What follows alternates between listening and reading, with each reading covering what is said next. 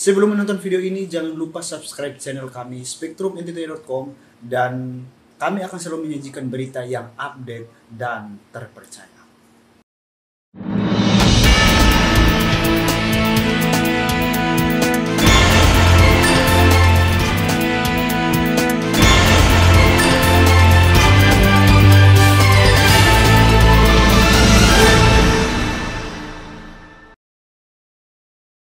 Siswi SMK Katolik Kusuma Atambua berani menerima tantangan dari perwakilan Kemendikbud yang pada bulan Desember 2020 lalu saat mengunjungi SMK Katolik Kusuma Atambua karena mendapatkan bantuan Center of Excellence dari Kementerian Pendidikan dan Kebudayaan Direktorat Jenderal Pendidikan Menengah Kejuruan di Nusa Tenggara Timur.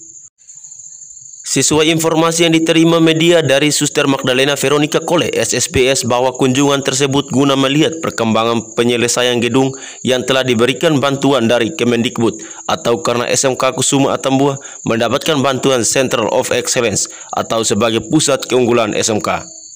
Pada kesempatan yang berharga itu, siswi SMK Kusuma Atambua jurusan Busana Butik kelas 12 Estika Stefania Karuna langsung mendapatkan tantangan dari perwakilan Kemendikbud guna membuat sebuah jaket yang akan sama persis dengan jaket yang ditunjukkan dengan model desainnya simbol peta Indonesia. Saya berasal dari SMK Katolik Kusuma Atambua, kelas 12 jurusan Tata Busana.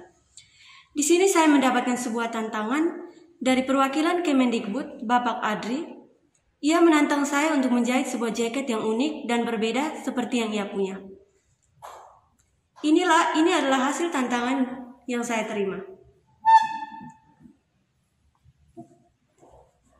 Sangat bangga dan senang karena saya bisa mendapatkan tantangan secara langsung dari perwakilan Kemendikbud.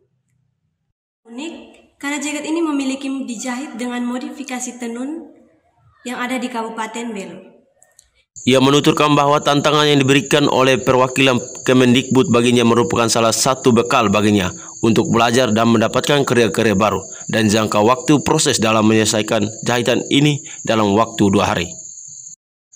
Estika Stefania Karuna siswi kelas 12 jurusan busana di SMK Kusuma Tambua ini berpesan kepada kaum muda yang ada di Kabupaten Belu perbatasan antara Indonesia dan Timor Leste agar terus berkarya dan mengembangkan kemampuan yang dimiliki agar ke depannya bisa menciptakan lapangan pekerjaan dan mengisi lowongan pekerjaan yang ada. Untuk menjahit jaket seperti ini, saya tidak merasa takut, justru saya merasa sangat senang karena dari mendapat tantangan dan saya menerimanya itu bisa membuat saya lebih berkarya lebih luar biasa lagi.